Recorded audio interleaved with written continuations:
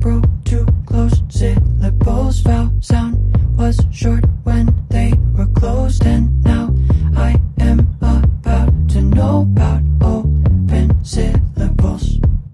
When there's just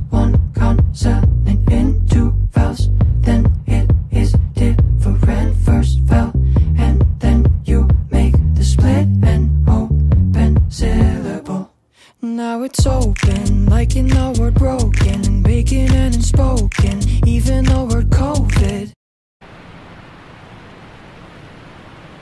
It's a long vowel and it makes the long sound like in robot and rebound. First vowel is a long vowel, cause it's open. Duh.